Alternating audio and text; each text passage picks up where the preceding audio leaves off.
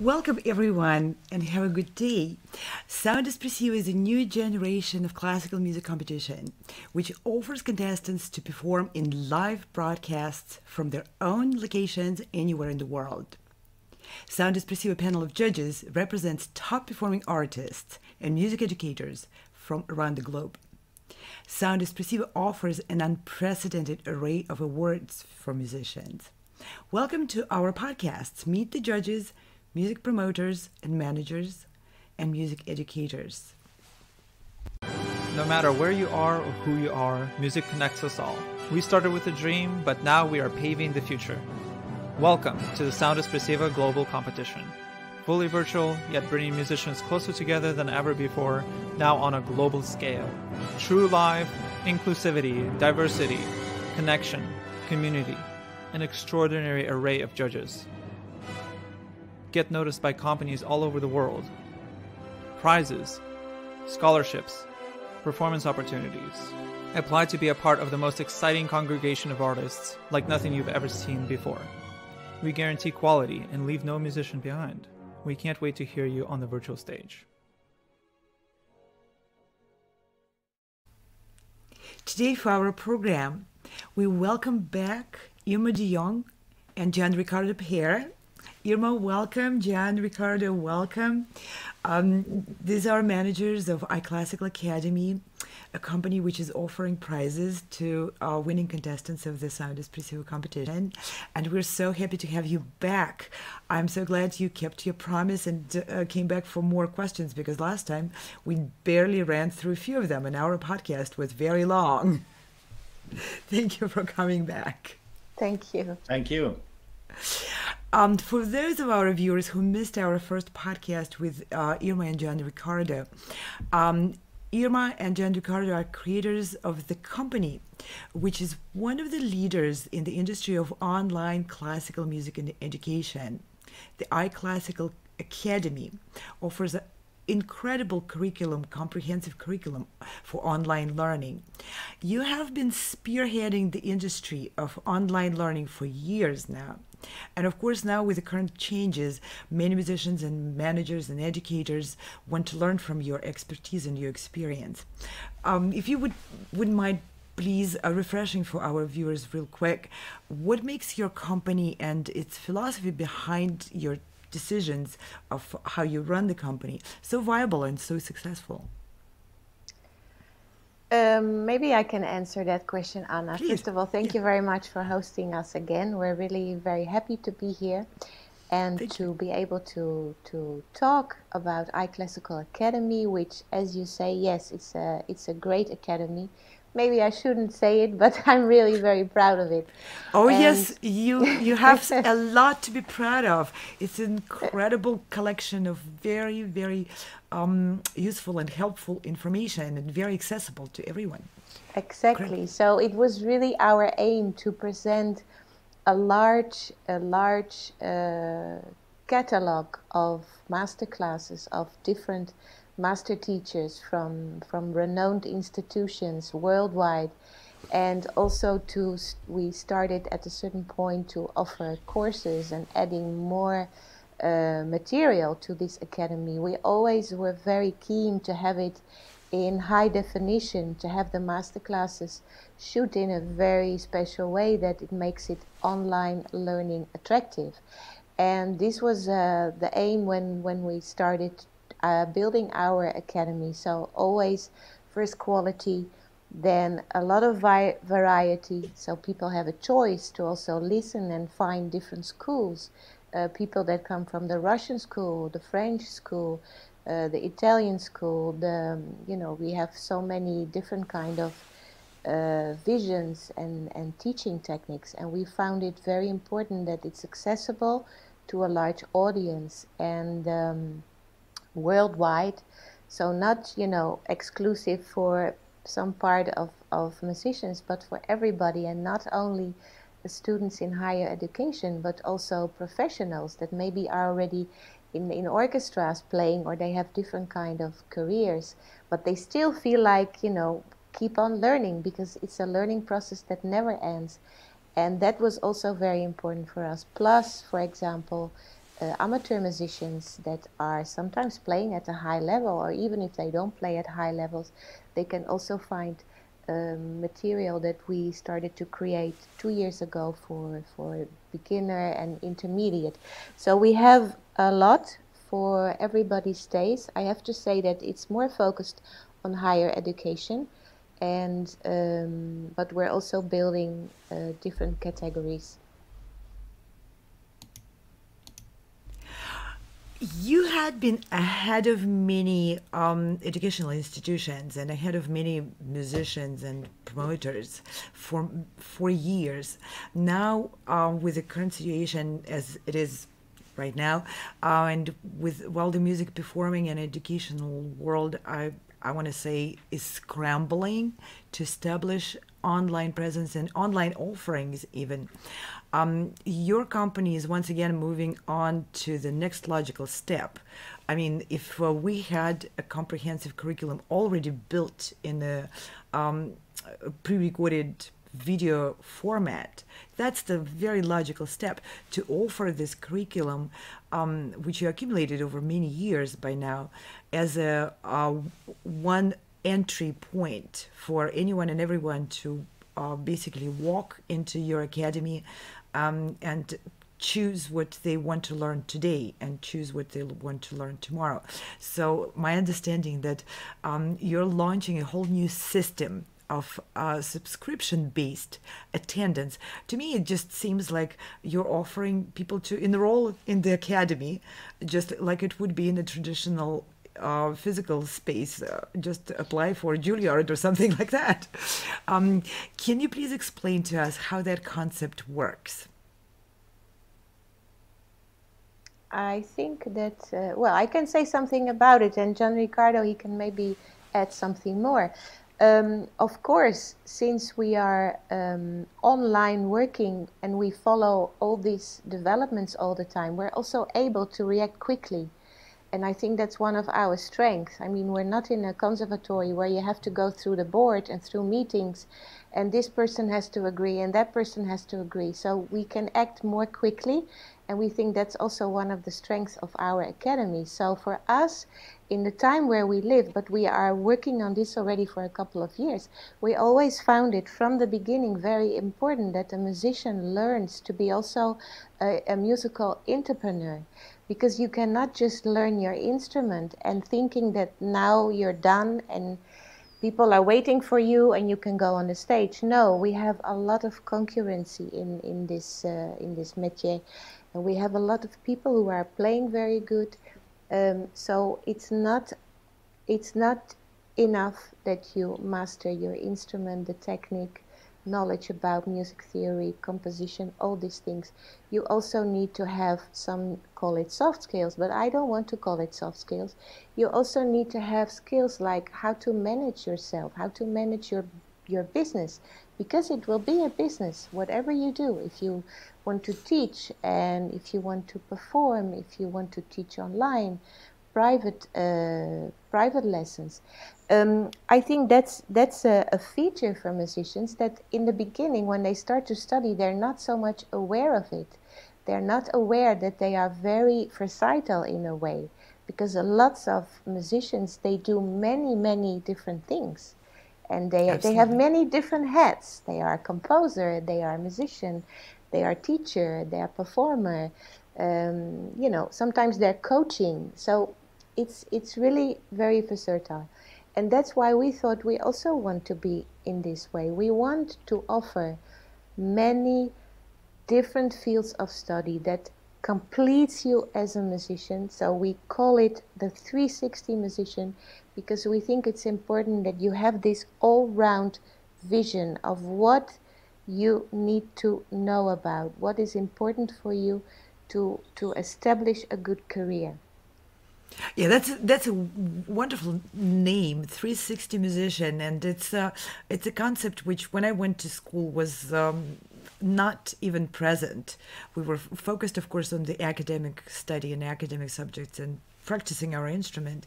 And um, it was um, a common misconception, I want to say, that uh, musicians just need to learn their skill and wait for someone to come in and do the rest for them. It never was true in my career and in many of my colleagues. Um, some complain about it, but some embrace it. Um, that we are doing our own business and self management, even if we have jobs, self management is still a prevalent form of uh, directing our careers. Um, so you're offering now this subscription. T- tell us a little bit more in the in the detail how the that well, is set up. Yes, yes. So the, this this concept of what we are offering now, actually, uh, uh, we started to think about this already one year and a half ago when we discovered for, for the first time that our Bach violin course by Miriam Fried was bought by a cellist. So we realized that some cellists were buying a violin course. And this testified to us for the first time that our users were possibly not only focused on their instrument, but they would be uh, likely interested to different subjects. And going on with this kind of, uh, you know, developing this kind of concept and also following through the statistics the the changing of habits and of needs from the online audience. We can now came to the conclusion that uh, we we better offer to to a potential customer or to the actual customers uh, the way to access to everything. Because if you have to choose to buy one single course at a time and uh, then you then you start thinking you know should i spend this $50 or not is it exactly what i need or am i losing not the money because it's not that important but maybe i'm losing time and i'm not focusing on the right subject and in the right uh, way now we like to have our audience as members of the academy, as we call it.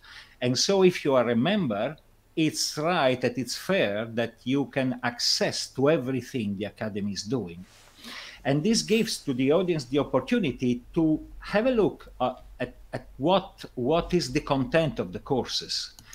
Even if you maybe you previously don't think, you know, the concept is you don't have to think uh, previously to exactly what you need and then choose a course because this could also cause some confusion. It's still possible, of course. You just need one course, you buy that one, and that's all. And then you buy another right. one in time.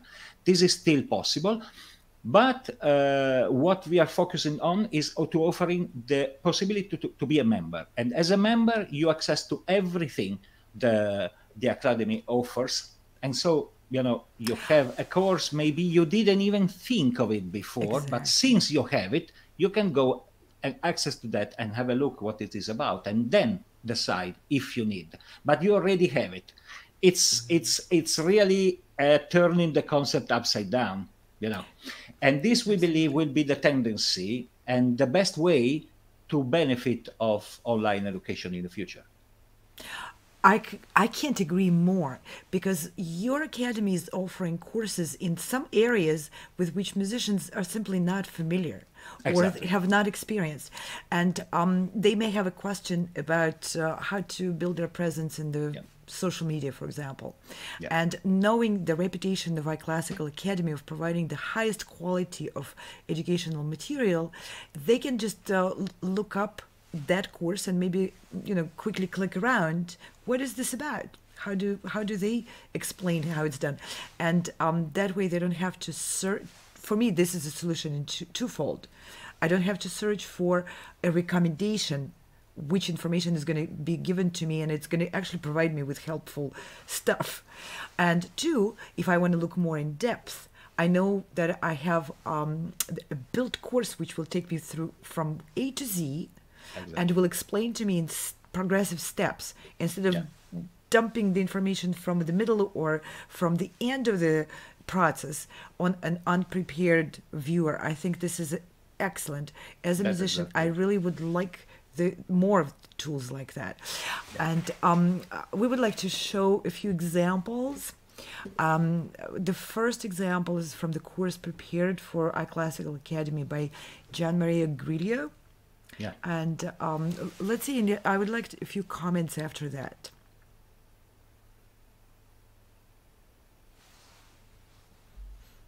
There's no orchestra in the world, whether it's a community orchestra, whether it's a band, whether it's a professional orchestra, whether it's a student orchestra, it doesn't matter. No orchestra in the world needs a beat. What they need is a pulse. The pulse is how you start the orchestra, how you give an upbeat, how you keep the motor running, how you change a pace. And the point of origin of the pulse is the wrist. Students are often taught that the primary attention should be on the right hand because that's the one that's beating time. And the left hand should be left for expression. This type of approach doesn't really offer a practical solution to what to do with the left hand. We can use the left hand for cueing players or sections. We can use the left hand to highlight, enhance a solo part. We can use the left hand for dynamics like crescendo and diminuendo, for instance. Or we can use the left hand for a particular change of atmosphere, color, energy, or anything else. Let's take. Tchaikovsky, his symphony uh, number six, part of the first movement. Now, we've seen the flute has a line that goes up and needs a pulse on the second, between the first and second beat, in order to get out of the slur. So, pim, um, tirarim, pariram, param, pim, parirarim. We follow the line up, pulsing on beat two. Pim, two. Tariram, tararim, tarari, tarari. What happens one bar after that? Well, the bassoon comes in. So, how about we answer the left hand to the left hand with the right hand and alternate the same type of movement exactly as the music shows.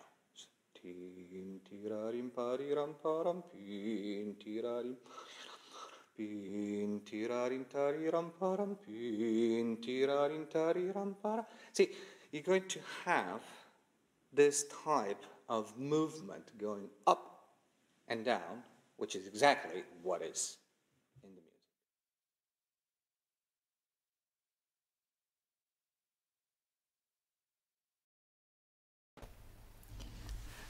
music. This is so helpful.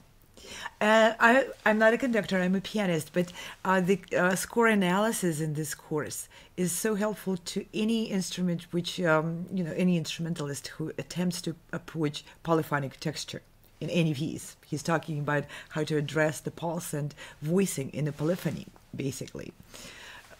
That, that, that's, exactly, that's exactly what we mean when we talk about the 360 musician.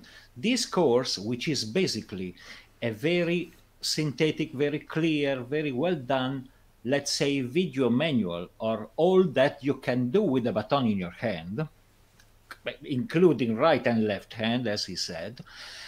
But so it's very useful for a conductor, it's very useful for a, a, a musician who wants to be a conductor in the future but it's very useful for a normal musician because through this and having a look at this course in the end uh, it just take let, us say you're a pianist you're a violin you can you can anyway have a look at this course and learn how to expect from a from a conductor and how to you know to be more merged in with the playing or your group your band your orchestra ensemble whatever it is and how to dialogue with the conductor. This is a problem that many students they have because they are all wondering probably or many of them are wondering, okay, sooner or later I will play in an orchestra, and then what do the, what do I do? How do I follow the no?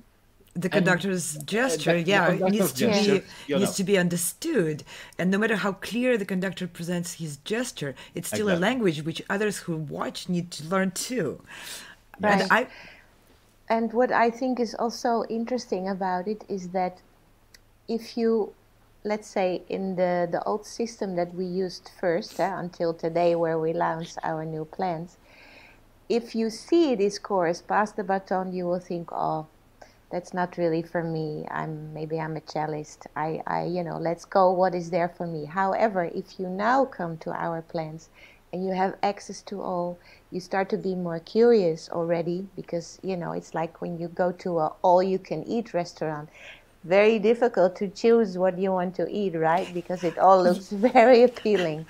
And I well, think it's a little bit the same effect. So you see all these courses and rich material and you think, oh wow, maybe, you know, I can also grab a little bit out of this one, this course, because it, as Gian Riccardo already said, and yourself, uh, you you also, Anna, it's very useful.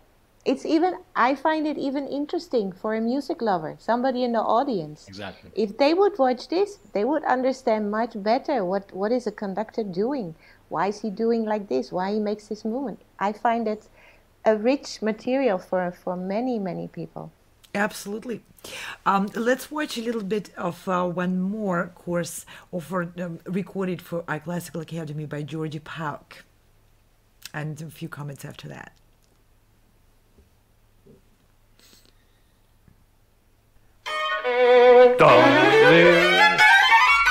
Good.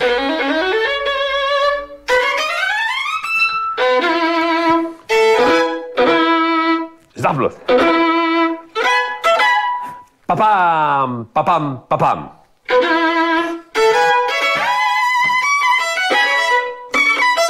You know, before a forzato, it's very important that we should lift the bow. Otherwise, you can't play the first forzato. Pi-ta-ta-ta-ta-ta-ta.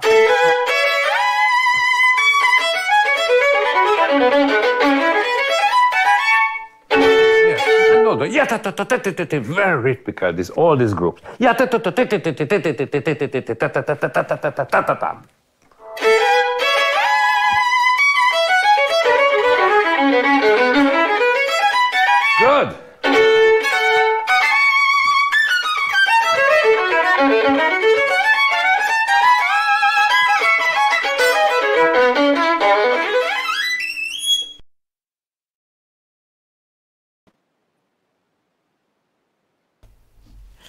Is a completely different experience.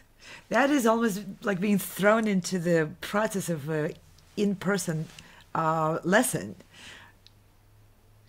This is this is makes me smile when I watch it back to, the, to this to this mar, um, masterclass because when I don't know if you noticed, but he has a, a terrific stroke. The attack of the note. He has really a terrific. He comes from this very strong sound of the Hungarian school, uh, which is also shared with other with other countries. Uh, but in his case, he's really terrific.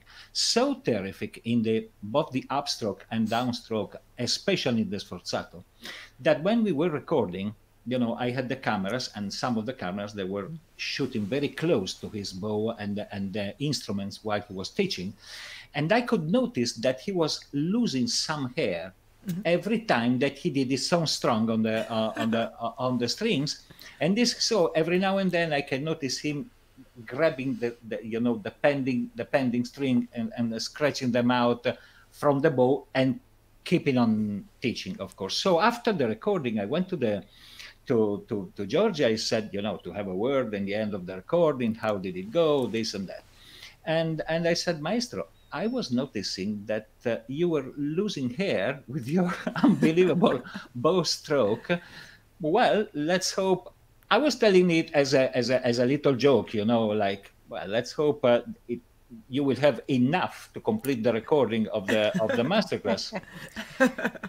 And he told me, ah, yeah, yeah, I'm aware. Look, and he showed me this case, and he took another bow. I have this one ready to be used, just prepared from the lute. He had another one because he he knew well that uh, that this would uh, would happen. So he uses to to mm, he, he he goes around with his case with two bows, mm-hmm. not because he is afraid that one breaks, but but because he knows that at least will one of them will lose eventually. the, exactly.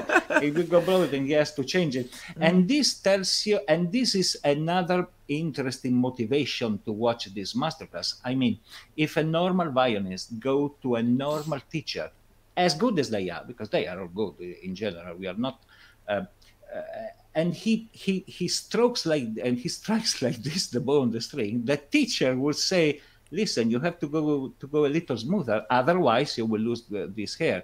So i mean out of a defect György made a weapon out of it in his mm-hmm. case and regarding his own technique. Is something that is very interesting for a violinist to watch at least once to have a to be aware that you can even play like this and of course be a, a, a great performer to me, that's a very important point, Gian Riccardo, you made. Uh, with the iClassical Academy uh, presenting such a gallery of different teaching methods and different teaching schools, Yeah. I think it uh, it's an incredible source of opening up the horizons for both students and professionals. I mean, for all of music lovers as well. Yes. um, because uh, if you are only in your um, small or large one country music school within one scope of, of aesthet- aesthetics of it oftentimes that aesthetics may be um, discouraging musicians from doing certain things on their instruments. And the discouragement comes together with well, okay as a student if you're doing it this way or that way you're not going to have a career because it's just not accepted in, at all, but it's uh, not accepted in that particular school. In another school, it may be an expressive tool, which is a welcome uh, aesthetic element. And so I think by opening up the horizons for musicians, you're basically telling that anything and everything works if it- it is in harmony with what you're trying to express. absolutely And to me, that's an extraordinary liberating message. And you're doing it in the practical terms. I can just go and watch videos from different violinists from different schools and see that, which is something which they do, may not be, maybe a no no in one school and it's a yes yes in another school, and Yeah, exactly. how to incorporate it appropriately into my own personal musical expression. exactly I think this is this is a this is an extraordinary message and uh, ability for musicians to uh, explore. And we'll move on to the next video by uh, a phenomenal violinist. He's one of my favorite. I have to say, I have a soft spot for Leonidas Kavakos. So he created a, um, a, a course for iClassical Academy. Let's sample it a little bit. Yes, yes, I hear even more, even more, so that now the color is coming through. Because that's why I ask you to play the. Because here you have only one note.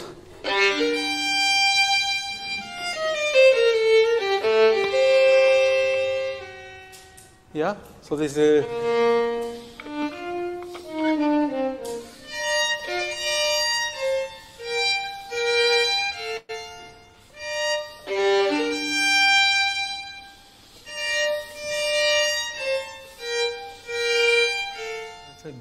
to succeed, um, the most important thing is to be uh, very much um, in respect of the art of music and the traditions that are there. The actual center of the power of all this, what we're doing, lies within the music of the music, the, the, the art of music, and the great message that the music carries when it is on stage or whether it is on recordings. In order to achieve the singing of this, this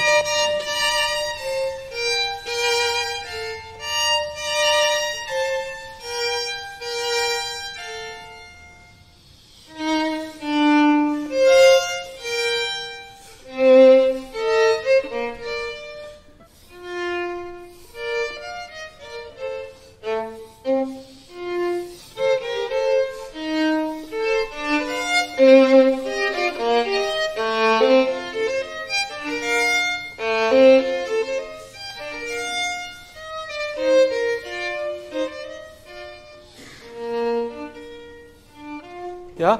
So it's it's you are almost there. Huh? You're almost there. Um, modern technology, I think, is um, contributing a lot today to um, the classical music and the the way it can reach uh, people who cannot uh, be at the place when it happens, where it happens. It's an acoustical experience. It's an experience that that um, uh, it's a communication that happens through sound, through hearing. It's about one or two bars where there is this group that. Yeah. Um,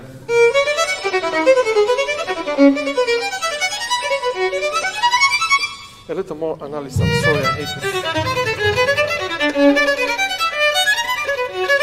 Yeah, what happens now is that I hear, I hear that you stress very much the downbeat. The driving force should be, as I always say, um, music itself and uh, the its superhuman power. You, you stress da da da da dee, da da da da. Mm -hmm. da, da, mm-hmm. dee, da, da, dee. Uh, it's actually the opposite, I think. Eh?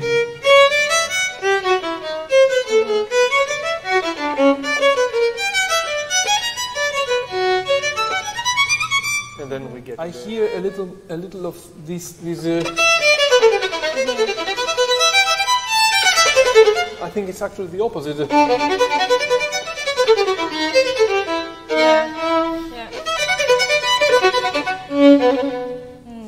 let go. Yeah. No compromise in the end. Huh? Mm. So uh, can we?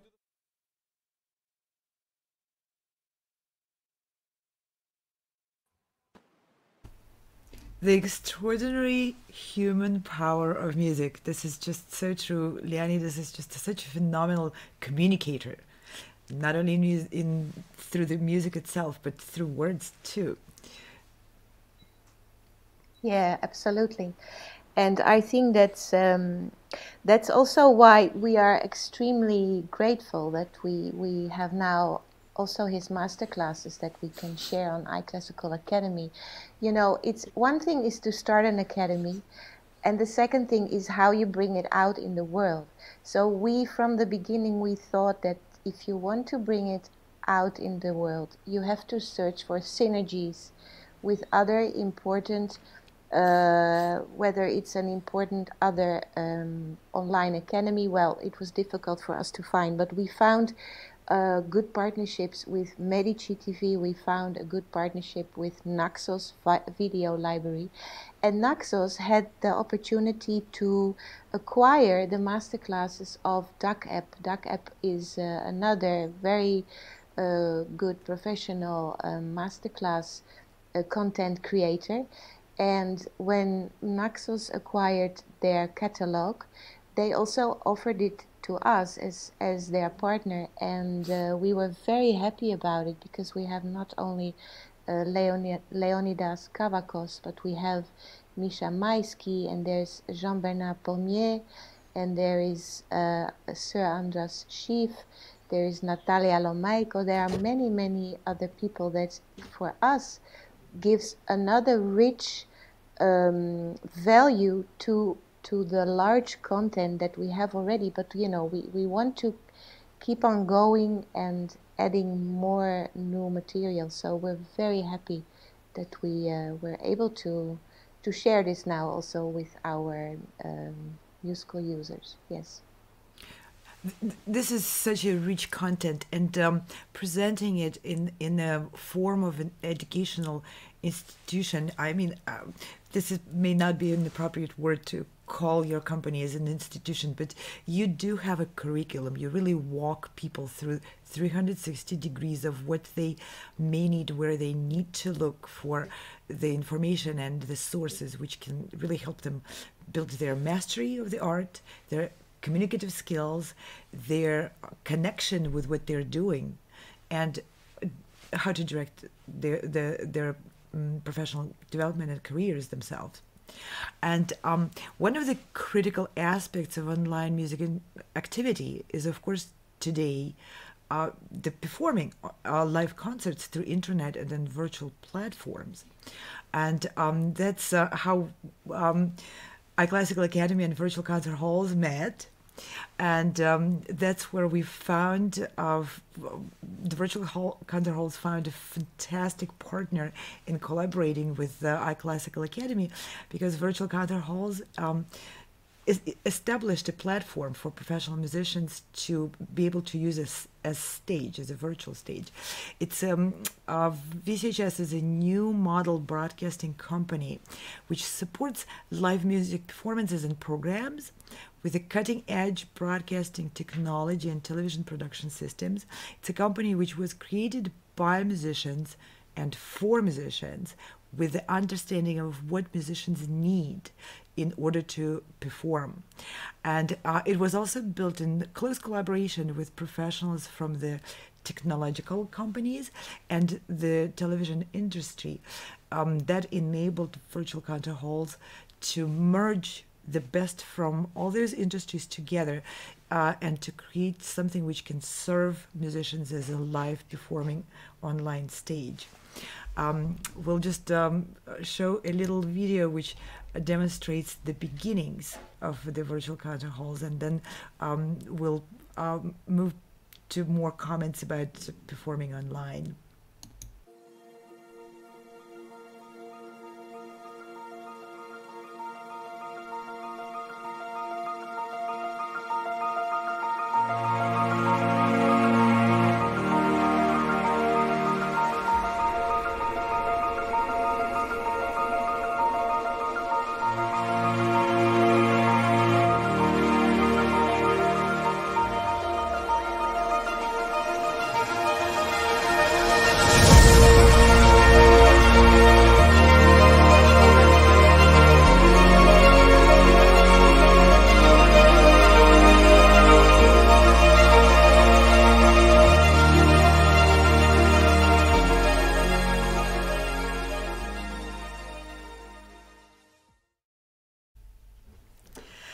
So now that we've introduced the virtual stage, uh, which is being provided for the Sound Espressivo competition, um, let's explore what it entails for musicians, music educators, and managers, too, for everyone involved in the music industry to start using the virtual stage. Well, let me first start that I, I find it fantastic that you started this virtual concert halls. Um, it's so important, especially now in these times. And um, it's very important that we have one stage where all the classical uh, musicians they can gather together and we we show different kind of artists, different kind of levels, also different kind of possibilities to the audience. It's it's very important to have it right now. First, because it encourages musicians to to go on because you give a possibility that you can still perform and you perform online. Uh, second, it really brings comfort to people because we all know that uh, in, in difficult times, um, music brings us so much relief, brings us so much, uh, how should I say, so much comfort, especially on the emotional uh, level. And um, that's why we, we have to continue and what I also think is very important is that we should not let ourselves be discouraged from what is happening right now. And we should try to use the occasion to, to transform it and make something strong out of it that will not serve us now, but it will serve us also for the future.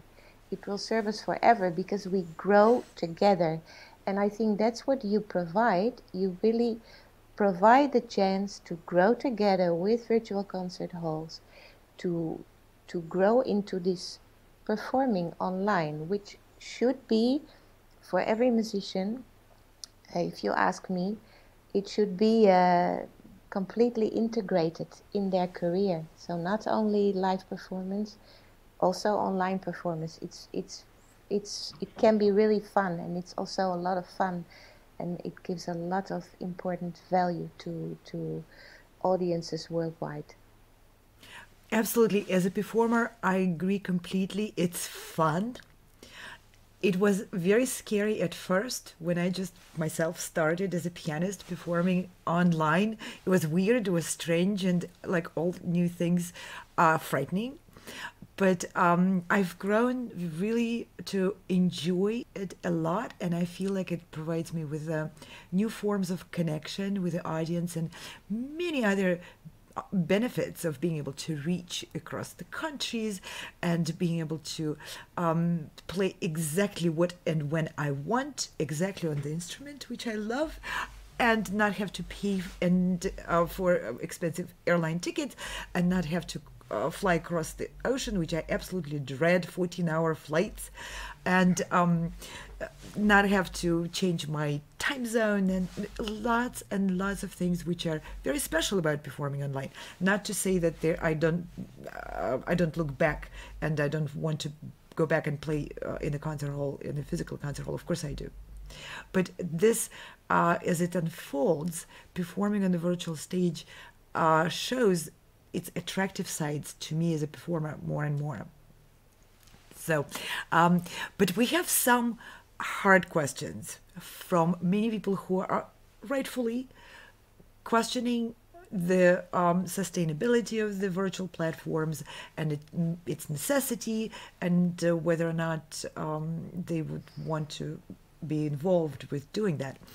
For example, as um, educators, the online educators with many years of experience, uh, I want to ask you this. Uh, a lot of times, teachers don't believe that the uh, virtual education can be comparable to uh, the education which is happening in person in private lessons or in classroom for uh, you know the groups of students uh, they believe that the, the essential element of uh, doing it in, in in real time and in person is lost in the online education what's your take on that that's a good question. Well, um, I will mention first uh, a couple of statistics. You know, we, we live we live on numbers. We we take also big part of our experience from the numbers, the statistics, how a certain course, a certain page is watched, uh, how how long, uh, and these kind of things. Well, statistics say that five years ago, let's say seven years ago, every teacher in the world would say online teaching out of question not possible. The only teaching that can be done is inside the rooms of a conservatory. That's it. That's teaching music. All the rest is is, is not teaching music. Uh, three years ago uh, some they started to say well maybe maybe it's not exactly like that. Maybe because they were experiencing uh, their student their own students coming from new from new with new ideas that way that they that they grabbed from youtube. Okay so they started thinking okay i i don't agree but we have to deal with that possibly because we have to do something about that now the situation is a part of a teacher, a part of teachers, they still say, I don't want to even to know to, to hear about uh, online education because it's not possible. Another part, consistent part, can say, I'm not an online teacher, but I understand that it's a, a, part of the new of the new normal. So I'm trying to see how I can so how I can deal with that. And many of them they suggest themselves to their students to go online and to grab new ideas and to take some ideas and be ready and, and, and they are ready to to confront them and to see what actually is best for their students. Then there is a third part completely new uh, who they are still conservatory teachers but they strongly believe in, on, in online education as a different weapon to implement to improve and uh, to replace live teaching only in the case in, in, in, in which uh, a student cannot afford or he lives too far from academies and from teachers. So uh, that online remains the only chance that he has to uh, to learn music. But anyway um, you know even if even if a student has teachers that that uh, that he can physically attend, uh, it remains a very a very good a very good tool, a, a, very important tool and weapon to enlarge their vision. Exactly what we what we said today. So it's not a matter of one thing replacing the other or vice versa. It's just a matter of being able to to learn from both these these worlds uh, and matching what they can offer and enlarge the the knowledge. That's all in the end. What strikes me in your answer, Gian Riccardo, is absolutely true. Students are a driving force in the change because they're in the next generation. Generation, yes. And um, they go on YouTube and they come back to their teachers with new ideas. Yeah.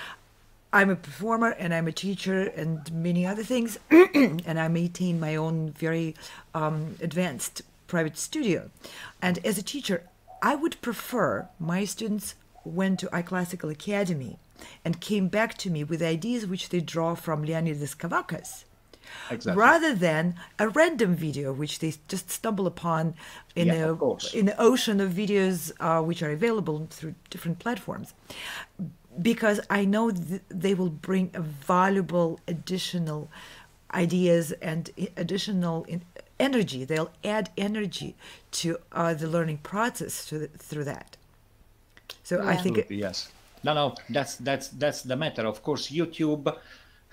well, there are some that some they say YouTube is full of rubbish.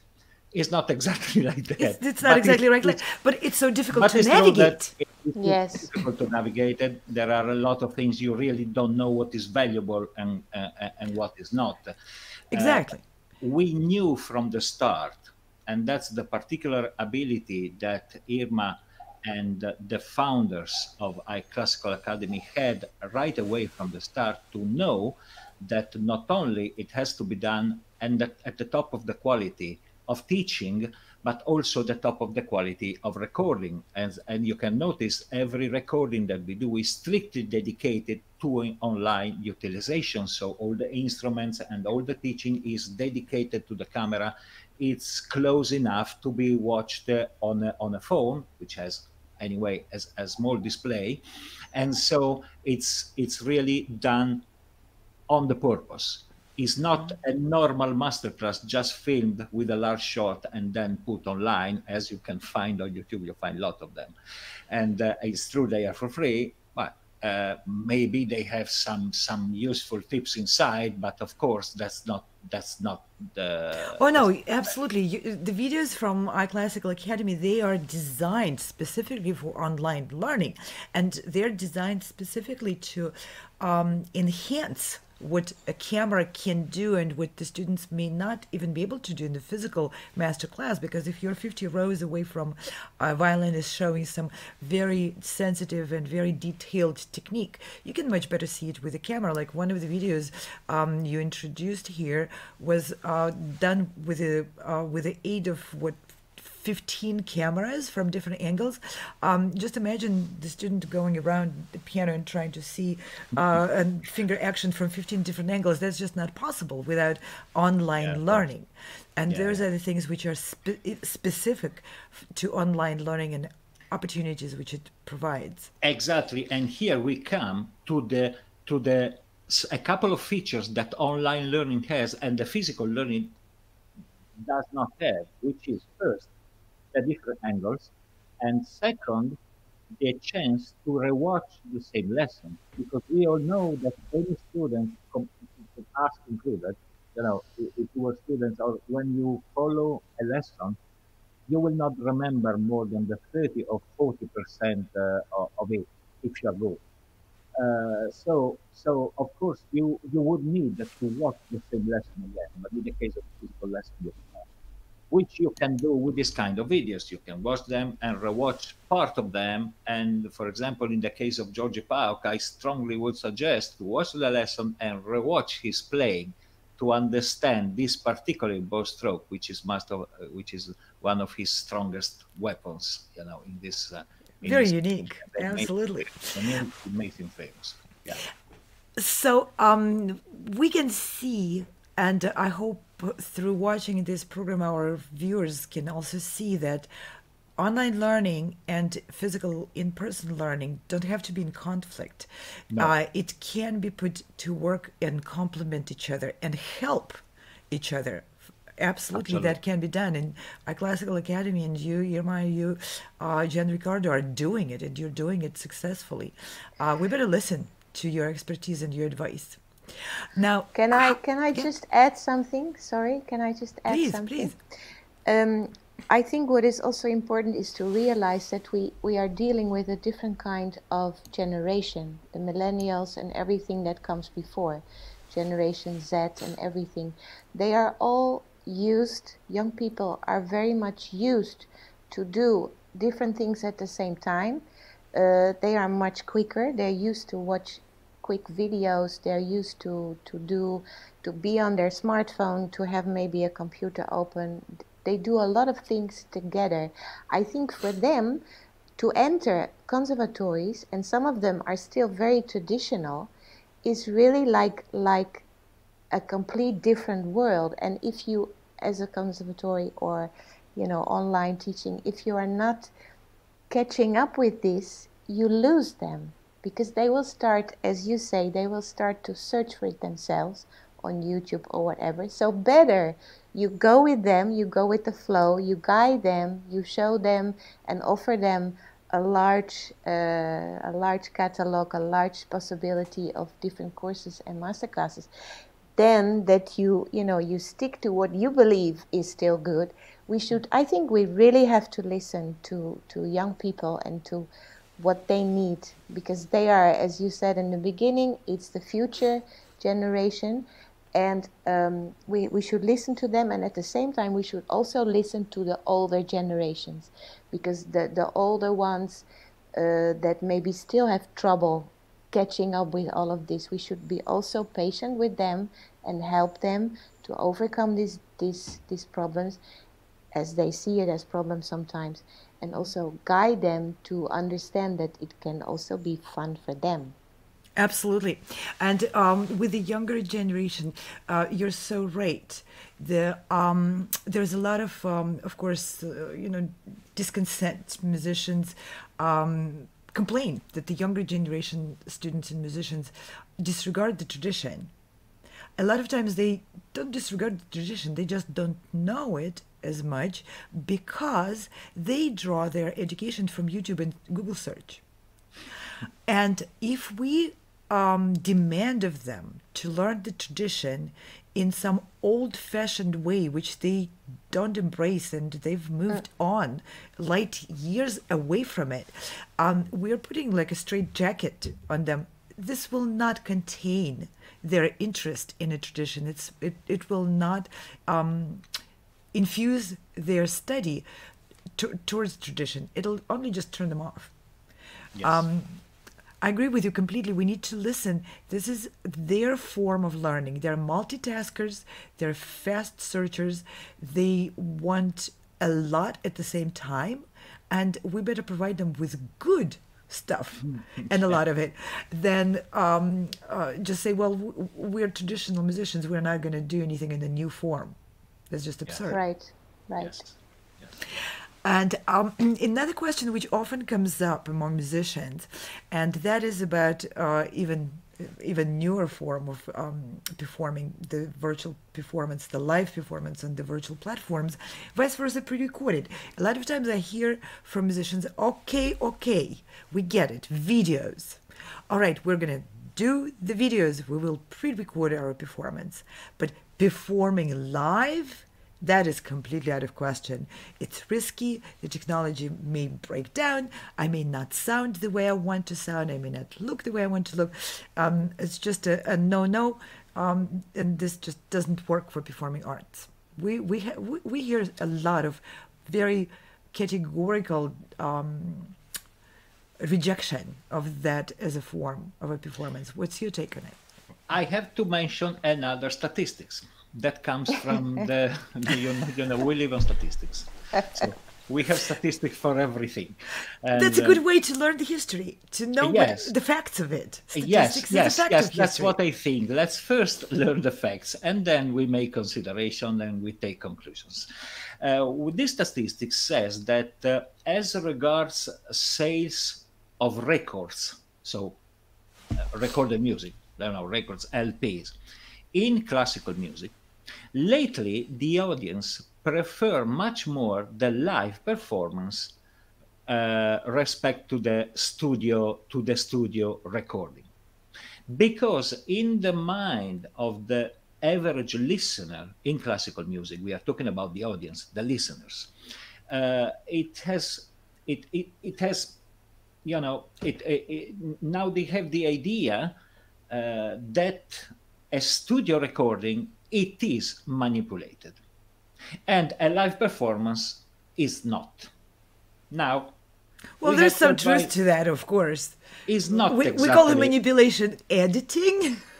exactly. But if we, of course, video can be edited, of course. Ah, you know, every musician would say, okay, if I want to replace one note uh, in a phrase, can it be done? And the editor will say, yes, it can. Uh, we record it again, and then we put, and then we put it. And the audience know this. So when they hear a perfect studio recording, they say, yeah, okay, but is this the musician or is this the musician plus editing at least? Not only the editing.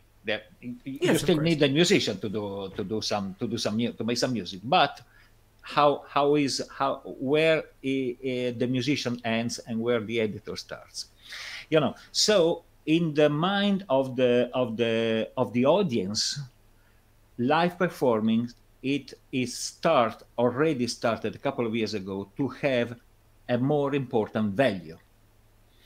This will reflect this will necessarily reflect on the taste of listeners to any kind of performance in general so the ones who say oh no no we pre-record otherwise uh, it's too risky they will have to consider this. They can do. They can stick to recording to recording videos. Of course they will have a lot of problems to participate to Sound Espressivo competition in this Yes. case but this we talk they talk, we talk about this later.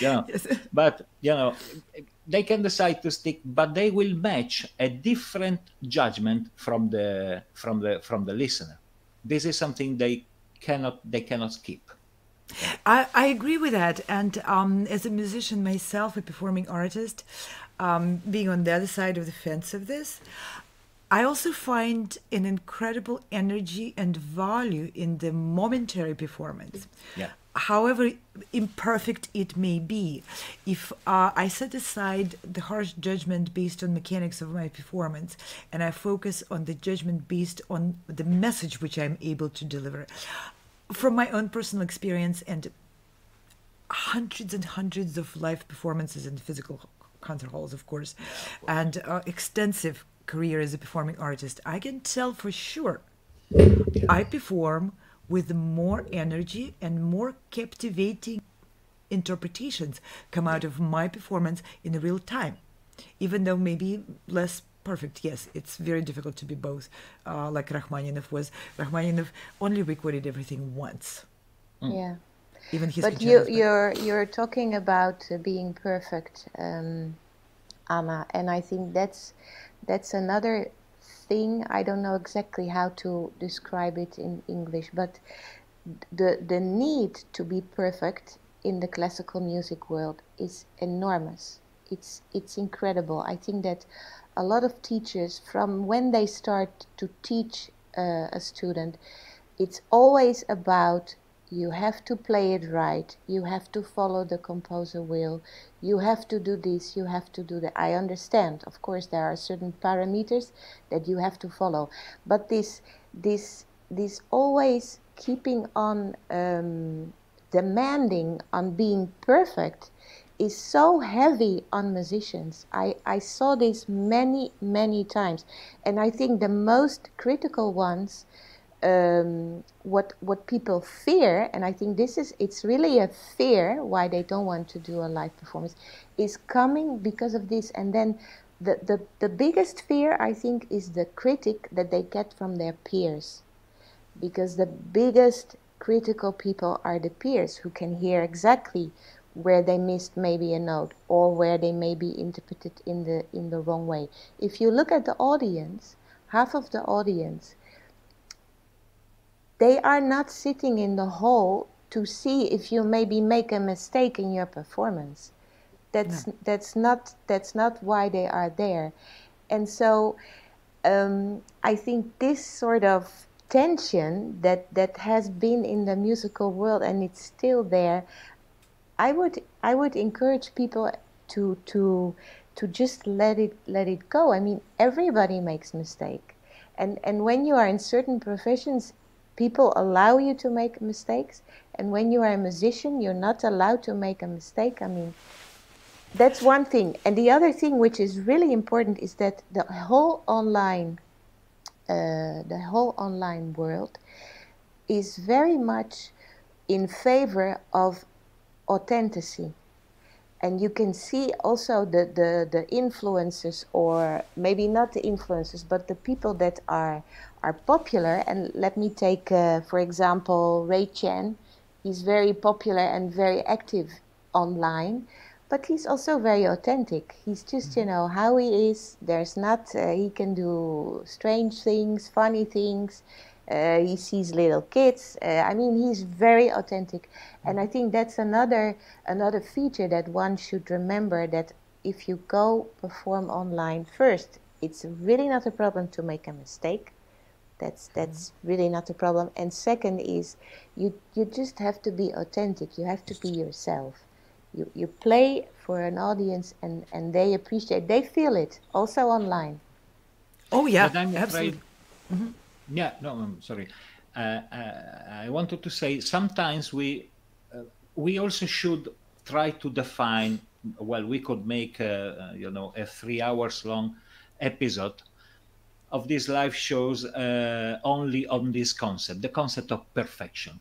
Uh, we should also try to define what perfection is, and if we would try, we would probably discover that it's kind of not possible. In the end, what is perfection? If by perfection we we we mean not to make mistakes, well, okay, that's obvious. No one is pleased to make a mistake while he performing he's performing a piece. Eh, If it happens, it happens. But we don't we don't look for that. We don't search for that. That's for sure. But when we are talking about the performance and uh, you know Irma, uh, a little uh, some times ago, he he told me a phrase that I that I still have as a as a sort of rule.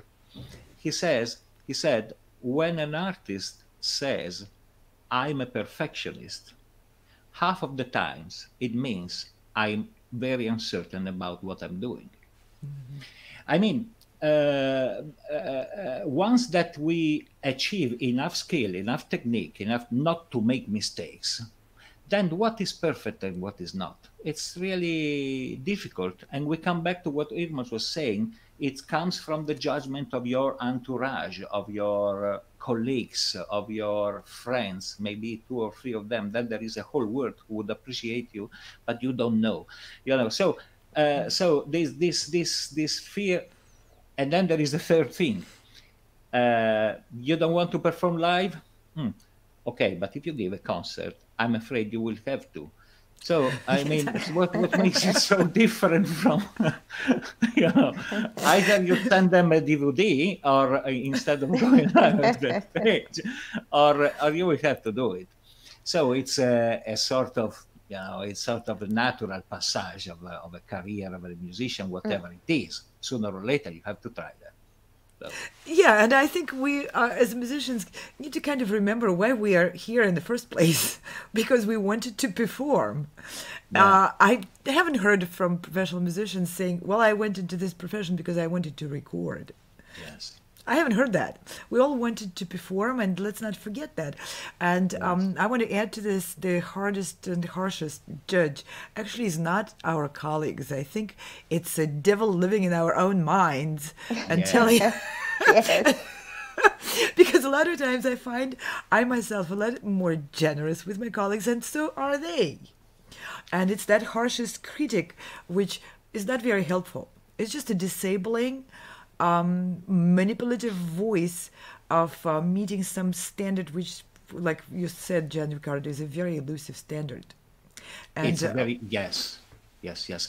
And we had an experience of that with pavel berman when we recorded we recorded the 24 caprices. As you know he recorded the the 24 performance and then he recorded the 24 lessons.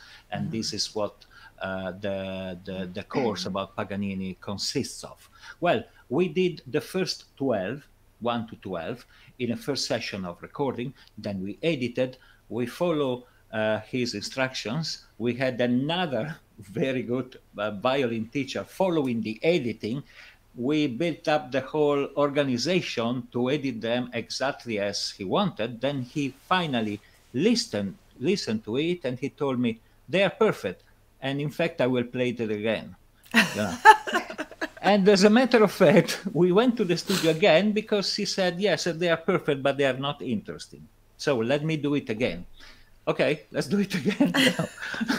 what can we do? We were not exactly happy, um, also in terms of budget, to do it again. But uh, yes, you know, we did it, and actually, it was more interesting. He went faster. He recorded them faster than the previous time mm-hmm. uh, also because uh, he collected experience about, about, not that he needs because he recorded a lot of records and he made so many performances that but anyway we were more acquainted each other we were more uh, into into the piece it took it took less time and they were actually much more interesting than before the second time so actually we didn't record 24 caprices we recorded 36 but we published only 24 yeah, that's that's a very interesting story. Um, yeah. So uh, with the um, live performing online and um, that being probably the only limiting condition of the sound espressivo competition. Sound espressivo competition offers musicians to choose their own repertoire, their own categories, their own timing, their own dates, their own place of performance, everything. There's only one thing which we don't give people any choice. They can't send us recordings. They can't send us CVs in place of their performances. They actually have to step on the modern, living, current virtual stage and perform live. That's the only restrictive demand which it's not restrictive. I tend to say it's not restrictive. It's a sort of safety of a more um, a, a rule of safety for the participants themselves because if I can send a recorded video, I will send a recorded video, but someone else will send a recorded video. And maybe his video is better edited than mine. Yeah, so, that's a matter of money only. The quality of editing is a matter of money. Exactly. But the quality of the performance is within it's the hands of the musician. Eh, yes. So to tell to all the participants, I really, I really dare to say it's it's something that Sound Espressivo guarantees to you instead of restricting. If you're good, you're good. If yes. you're not, uh, you will be better next time. You have to try it. I mean, you have to start exactly. somewhere, as they say. yeah. yeah, and uh, uh, virtual concert halls, which provides all the technology and the backbone to, yeah. to, the contestants has developed a very reliable system which will guarantee that you will sound the best you can currently on the virtual stage. The technology and the systems are developing, and we are currently developing with them. But we guarantee that this is the best out there. You can step on the stage with trust because our sound and video engineers will make sure you sound yes. very yeah. good. Yeah. Let's hear a sample of one of the auditions uh, of a contestant who auditioned with Sound Espressivo just a few days ago. Yeah.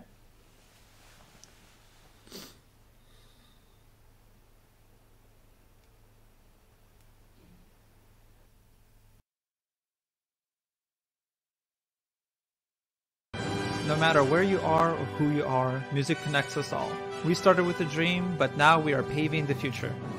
Welcome to the Sound Espressivo Global Competition. Fully virtual, yet bringing musicians closer together than ever before, now on a global scale. True live, inclusivity, diversity, connection, community, an extraordinary array of judges. Get noticed by companies all over the world. Prizes, scholarships, performance opportunities. Apply to be a part of the most exciting congregation of artists like nothing you've ever seen before. We guarantee quality and leave no musician behind. We can't wait to hear you on the virtual stage.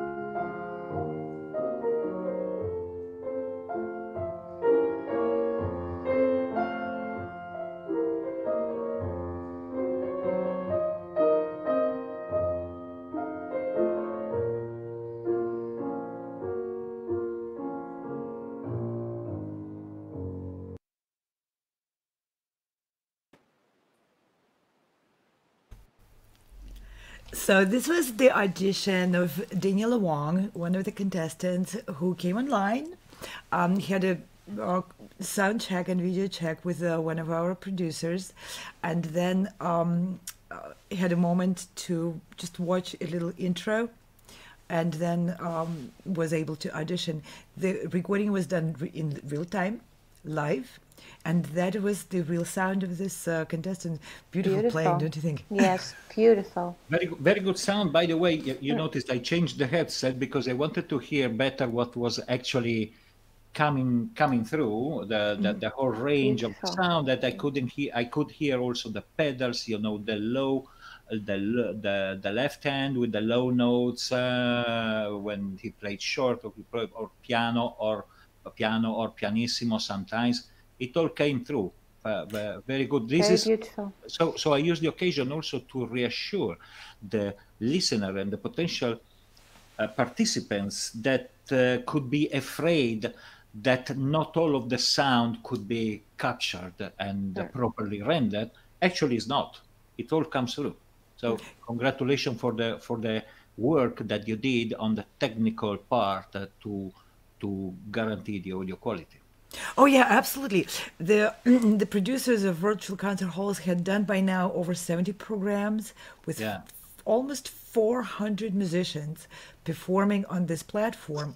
And of course, every instrument, every different musician style and range of dynamics brings its own challenges. And by working with that many musicians, we have developed very reliable and comprehensive system to help musicians with their setup so that their range of dynamics, their styles, their colors actually can be delivered through the uh, immediate transmission of the online um, uh, online virtual performance. Yeah. And uh, we, we are very happy to say uh, not only our technical systems, but the people who operate those technical systems are professional musicians. Those Yeah. are people who know exactly what you as a musician want because they are professional performing musicians too. And they give you their love their support and they were able to tweak the systems to actually support the classical music like no other. So Beautiful. great. Yes. And thank you very much for this wonderful meeting again. And I have to say again, I only asked you half of the questions I prepared today. You will have to give me again We come online on air. On air. Come back, promise to come back. Yeah yeah. Because the, you, you both are just such a source of warmth and love and welcoming and extraordinary experience of actually how to make those things work. Not that they exist and how they exist but how musicians can make sense out of what's happening today and make it work for them instead of them being victims of uh, challenges which they face and um, with this, I would like uh, to ask you again to wrap up our conversation with uh, addressing our viewers, the teachers, and the musicians um, in a short message. And after that, we'll say goodbyes to our viewers. Um, Gian Riccardo, would you like to go first this time? Yes, okay.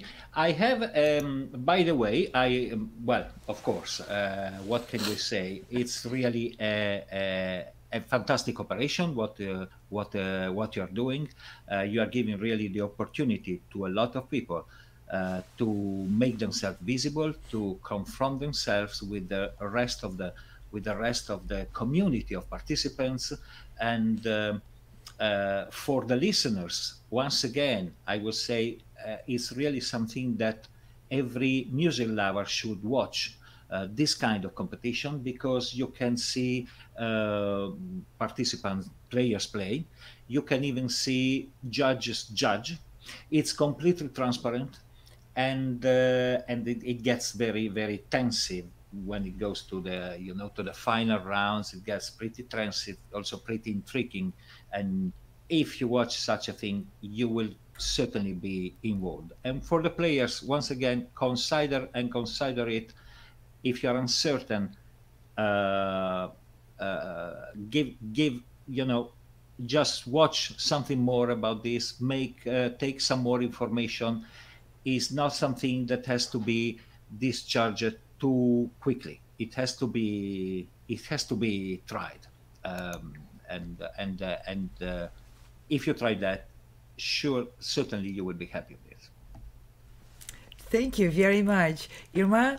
Would you please give us a closing message to everyone?